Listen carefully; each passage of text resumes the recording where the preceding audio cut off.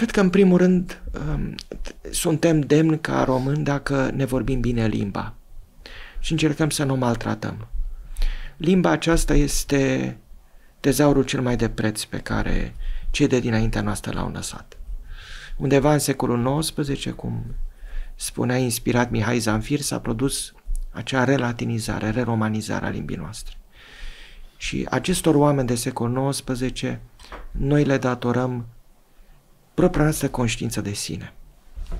Fără pașoptiști, fără junimiști, fără Eminescu, fără Macedonski, fără Tito Maurescu, fără Dobrogeanu Ghera, ca să rostesc... Zone diferite, foarte diferite, foarte diferite, foarte diferite. Și temperamente foarte temperamente diferite. foarte diferite, fără, da. uh, fără Alecu Rousseau, cel care era uh-huh. la mijloc între secole, noi nu am fi putut vorbi cum vorbim acum.